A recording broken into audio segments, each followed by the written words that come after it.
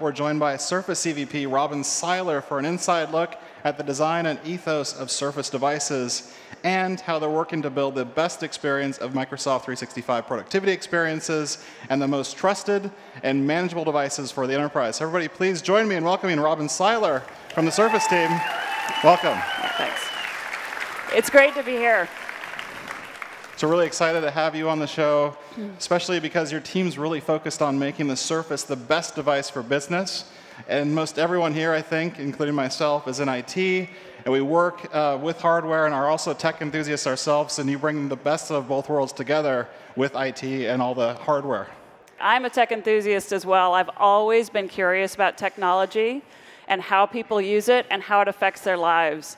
I represent a team of people back in Redmond, and that team is so passionate about the products that they build and the customers they build them for. We work with IT organizations every day to understand your feedback, and hopefully you see that in the products and the experiences that we build. All right, so why don't you tell us how you got started in Surface? That was a long time ago. I joined the team nine years ago, and at that time it was a secret even within Microsoft. When we first announced Surface seven years ago, it was an amazing moment. And with that moment, we created a category, the two in one. And we applied our unique point of view as a productivity company to building hardware. Since then, we've gone from a single device to an entire portfolio designed to meet a very diverse set of needs. Our goal is to build hardware so that it works seamlessly with software and services our push for innovation is not rooted in what we can do with the technology, but what you can do with it. Right, so this fall really started out with a bang. Just an amazing lineup of products and announcements. We had some really great updates to both current products as well as brand new devices like Surface Pro X, to the upcoming Surface Neo, and also Surface Duo. There was really a lot packed in there. There was a lot. It was a big day. We announced five new products shipping this holiday including a powerful new 15-inch Surface laptop, an expansion of our Pro line with Pro X, and adding to our audio lineup, we released the new Surface earbuds. We also gave an overview of two exciting foldable products available next holiday with Neo and Duo. You know, some people look at the breadth of what we're offering and they ask, why do you need so many products? But it's actually your feedback that helps us define what to build. Many of you have identified personas in your companies, different types of people with different needs. And you need to keep each one of those different people happy. Like the salesperson who's always on the go, that person probably wants a Pro or a Pro X. And the marketing person who needs a large screen of studio to get their work done, or the office worker who writes those really long emails and loves their Surface laptop. I don't know if you know, but the Surface laptop has the highest customer satisfaction of any device in its category. And that goes a long way with your internal customers. At the same time, it also means we have to be very thoughtful about introducing change. It's really good that you mentioned that because some of the new products, like the Pro, for example, the laptop, on the outside they look fairly comparable with previous generations, but there's a lot of innovation on the inside, right? That's right. Both of them have an Intel 10th gen Core mobile processor, making them twice as fast. And laptop is now the first Surface device offering over 32 gigs of RAM. And the performance always matters, right? Yeah, but we also know there's a lot more than performance that we have to consider. One of the things that we constantly think about is what technology should we invest in? There are so many new trends in the market, and we try to apply a filter of keeping a very high bar on what matters to you and then investing in additional areas for our customers. Across the portfolio, we look at three core principles. First, excel in what matters most. This is the display. This is the performance, the battery, great typing. And with every single device we ship, we look for how we can improve those fundamentals. One example is bringing fast charging to the portfolio. Bringing what you love from your phone, which is the ability to plug it in and immediately recharge. So Surface devices now get almost to a full charge in about an hour. So speaking of fundamentals, another example I think would probably be the keyboard and trackpad on these devices. Yes, we always love to talk about key pitch and key travel. And the fact is, if you have a device that has a poor keyboard, you notice. If your neighbor has a device that has a poor keyboard, you notice that too. Nobody really wants to type on it. That's why it's a fundamental. The second principle that we use is natural user interactions. People want devices that adapt to the way that they work. For example, 10-point touch across all of our displays, fluid inking with a pen, and simple and secure login with Windows Hello on every single device. And one thing that's often overlooked, I think, especially in compact devices, is the voice capture part and also audio playback. What are we doing there? Yeah, voice is critical for natural user interaction. There's very little things that are faster than that. And to support that strategy across every device we just announced, we implemented studio mics, which are dual mics that are aimed towards your mouth to reduce the background noise, which means the signal that we get into the device is as pure as possible. You use that for a Teams call, but we're also collaborating with Office, and they're continuing to evolve Office applications to use natural voice. For example, you can do comments in Word. You can also do uh, live, live captioning and translation in PowerPoint. And these are all really great capabilities for any organization, any user. But what have you done to make Surface better for our device admins and all the IT pros with us today? Yeah, so this speaks to the third principle. And you know, one of the things that we learned from the very first Surface Hub that we shipped is that if you focus entirely on the user and don't give the right capabilities to IT, adoption is very hard in a company. For example, we know repairability is a top need. And with some of our products, we've started including removable SSDs. For example, with the Pro X, the removable SSD door is right beneath the kickstand where you put in your SIM.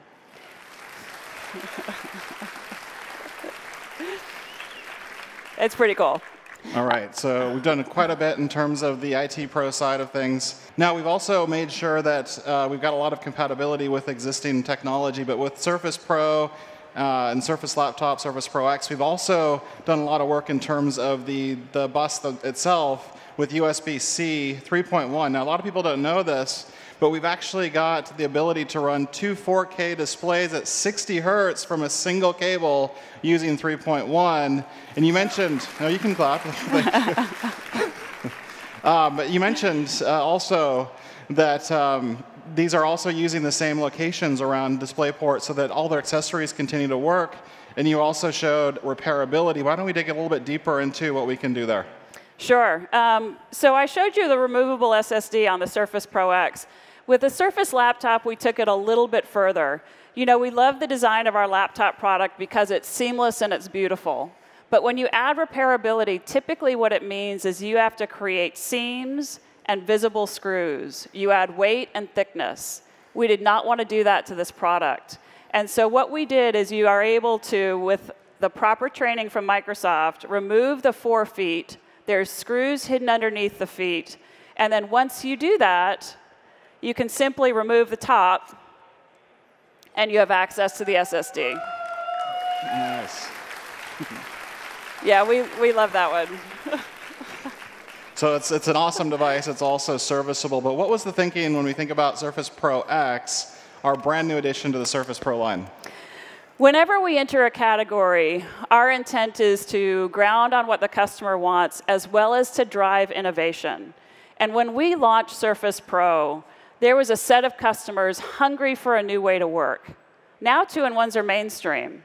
And those tech-savvy customers are looking for what's next, which is a more modern device experience that's always connected. Surface Pro X delivers leading-edge productivity. You'll see the screen is just beautiful. 33% thinner bezels basically gives you a 13-inch display and a 12-inch chassis. And the keyboard includes pen docking and charging for the slim pen, so you'll never lose your pen again. This is a game changer. And it's powered by the Microsoft SQ1 processor, which has the fastest CPU and most powerful GPU in its class. Right, and one of the, the power management design, especially with ARM chips, for me, it's personally fascinating. They're using asymmetrical cores, so that means the Microsoft SQ1. In that case, it's an octa-core processor. It means that performance uh, optimized Kryo cores essentially allow for Windows to balance between performance cores and also energy efficient cores. Uh, for example, when it's in low power states, it also means, in our case with the SQ1, we've got a 3 gigahertz processor that's been optimized for Win32 compiled apps and it's one of our best performing graphics experiences with up to 2.1 teraflops of graphics performance, which basically doubles the performance of comparable devices. And also as an ARM-based device, by the way, it can still run two 4K monitors at 60 hertz from a single cable, so that also works even though this is an ARM-based device. So really cool stuff there. Super impressive. And we really designed Surface Pro X with mobility in mind. It provides laptop level performance, but has powerful built in LTE Advanced Pro. And that can use an eSIM or a nano SIM. So you don't have to worry about connecting to the internet, and you don't have to worry about the security of public Wi Fi networks because you're using LTE from your trusted provider. And it's easy for IT to manage eSIM configurations. The other advantage that we love is how quickly the Pro X resumes from sleep and connected standby with instant on. Right, so what? Go ahead. Everybody's loving that. It is good and instant on on the resume. All right, so why don't we switch gears though and talk about device management and IT because we often talk about Surface being the best of Microsoft, but it has to translate into what people here are doing every single day managing these devices. So how do things get better? So we build products as a company if you think about it, hardware is just a way to hold software in your hand. So we have to build our devices together with that software. That way, both hardware and software get better together. I was visiting a customer, and they explained how they had to drill out the cameras of a Hub V1 for security reasons to make sure no individual could ever turn them on when there was confidential material present. Right, and I'm ashamed to mention this because when I used to work in IT, I actually had to epoxy fill USB-A ports. Sometimes I'd even do the, um, the different keyboard and mouse ports as well, depending on the device. But these are things that you shouldn't have to do, right? I mean, this is, this is hopefully the exception to the rule. Yes, unfortunately, it seems to happen quite a lot. so having clear control of your hardware is really important. With Surface Pro 4, we started developing open source UEFI. We brought our management of UEFI in-house with Surface. It's called Project Mu. It's now open sourced, which gives you greater security and control for cross-surface devices. You can use Surface Enterprise Management Mode, SEMM, to use with your configuration manager. And what we've recently announced is Intune can manage the Surface UEFI. So we can take advantage of cloud-based device management all of the way down to the hardware level. So you can put away your epoxy, I think you can manage the hardware directly. what this also means is you can change the hardware configuration for all of your Surface devices without forcing a reboot. So systems remain online even as you change those settings. And that's really a big impact on security. You know, all the virtualization-based security, by the way, in Windows 10, things like Device Guard, App Guard, Secure Boot, Credential Guard, all these things are virtualization-based security that rely on UEFI or UFI, however you prefer to say it we actually can show a couple new controls uh, that are rolling out. So I'm going to actually go into Intune here because we've actually got a couple of updates. And here we can see uh, a brand new capability called DFCI, Device Firmware Configuration Interface. So what I'm going to do here is actually uh, configure that. One of the really cool things that we can do, and I'm just going to zoom in a little bit so you can see it, is we can actually configure uh, things like whether or not we want our cameras to be on. We can configure whether or not we want uh, microphones, speakers, you know, the external media, USB drives, the things that we were epoxying earlier. And the nice thing is, once I've actually configured this, it doesn't even show up in Device Manager. You can't see them. They're basically not powering on on the, on the motherboard itself. So they are gone from the device effectively, and you have full control. That's so powerful. You know, we've also partnered with the Windows Autopilot team, and Surface was the first autopilot device shipped. So our products are designed and built for the people that use them. Your input is important to how we do that and how we think about our future, both for software and for hardware that we build. Thank you so much for having me here today. I hope you enjoy the products that we've announced. Thank you for your time.